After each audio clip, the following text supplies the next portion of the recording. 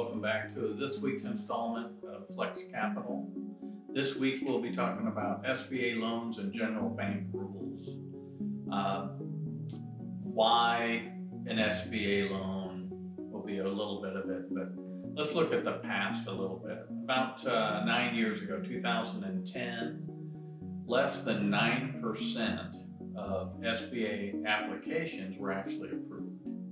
Now, fast forward to about halfway here, 2005, 15, 2016, uh, we were up to about 20%, 21% respectively.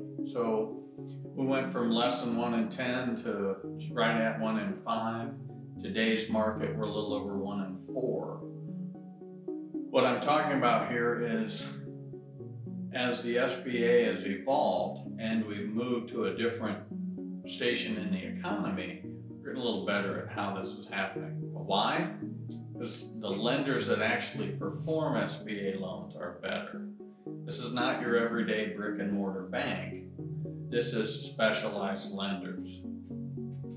So an average SBA, if you go to your bank, pick any brick and mortar bank, and you want to do an application for a loan, you have to fit in their wheelhouse. You don't fit in their wheelhouse, they're going to slow walk. Now they're going to slow walk it anyway because they don't really want to lend a lot of money. They're a depository business. Uh, not trying to talk bad about them, it's just the way they're structured. So, um, a typical SBA loan in uh, personal banking, brick and mortar banking, is a four to six month process.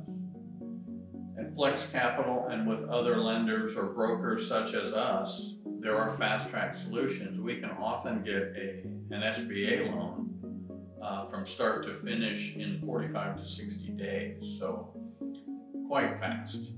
Um, if there's no hiccups, obviously, uh, no more government shutdowns, things like that. But we're even able to process some of these SBA loans. If we know they meet the criteria, we can still get them done. Now the government's back in business, the threat's always there. So why an SBA loan? Why would you want an SBA loan? SBA loans are scary to some people. They're also the cream of the crop to other people. Why would you want it? Well, oftentimes in a, in a regular loan, you're going to need to come up with 30, 35, or 40% of the amount you're looking to borrow as your equity uh, initiative. In an SBA loan, I can actually get an SBA loan to happen with as little as 10% down. Don't try to squeeze me for the whole thing. It's not going to happen. Um, that said, the 40% of the rest is uh, secured by the government and 50% by the lending institution. The lending institution will be the party lending all of the money. But if the loan fails, the government is guaranteeing 40% of it.